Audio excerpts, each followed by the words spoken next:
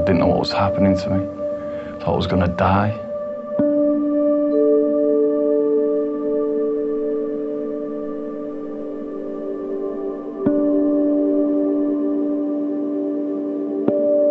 He kept saying to us, I have no idea what this is. I've never seen this before. I've never heard of this before. We don't know what's wrong with you.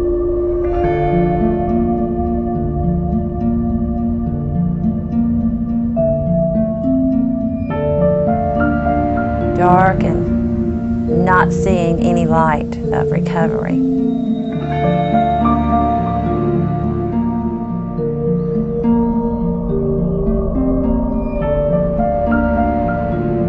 We have, I think, a horrible epidemic.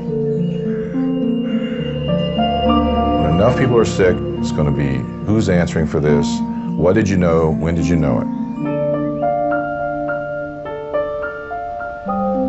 What kind of a breakdown or series of breakdowns in the medical system can lead to a setting where you have an illness and people walking into their average doctor's offices may or may not be likely to get effective treatment for it?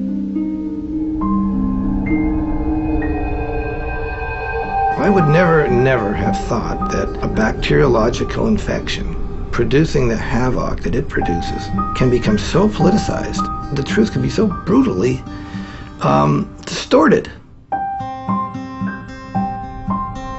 When we moved to where we are now, and the people we bought the house from said to us, be careful of Lyme disease, and then we met all the neighbors. Every house, for sure, had at least one case, and many houses had all of the family had been infected. All of them were sick.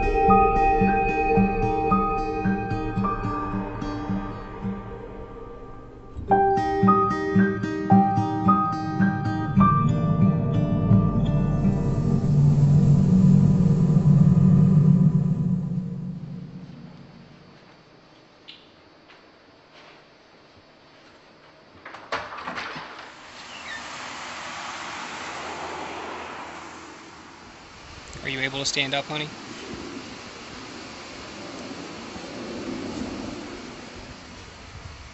Alright, I'm going to shut this off so we can take you back in the house, okay? Good, good.